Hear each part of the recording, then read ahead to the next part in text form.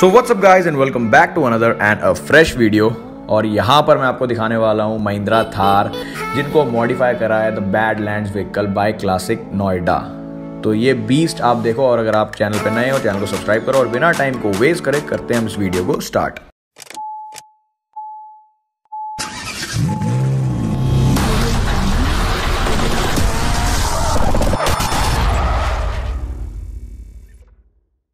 सबसे पहले आप देखो इसकी फ़ोटोज़ जो इमेजेस मैंने दिखा रखी है महिंद्रा थार की।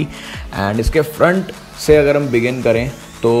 mods are done for this bad land vehicle which now boast a new front grille with four vehicle grooves The stock headlamps unit is exchanged with aftermarket LED headlights with integrated dual purpose LED, DRLs and indicators. और आप इसमें देखोगे of roader bumper जो कि पूरा नया है। जिसके साथ आप देखोगे integrated bull bars and a bash plate adds to it rugged and robust feel और क्या थार लग रही है यार ये? अब इसके एडिशन में हम अगर देखें तो custom bonnet with sporty looking air vents on the top and badland vehicle branding on the sides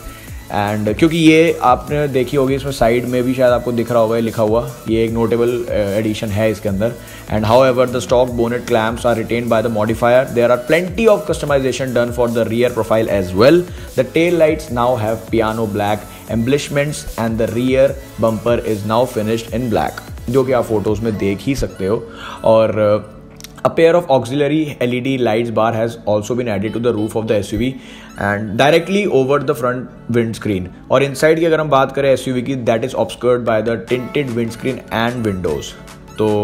ये सारी इसकी जो बातें थी और ये इमेजेस जो मैं दिखा रहा हूँ आपको, ये बिल्कुल रियल है, कोई भी इसमें एडिटेड वगैरह नहीं है और इसके इंजन की बात अगर हम करें तो it is available with two engine option है two point two litre M hawk diesel engine and a two point O litre turbocharge M Stallion petrol engine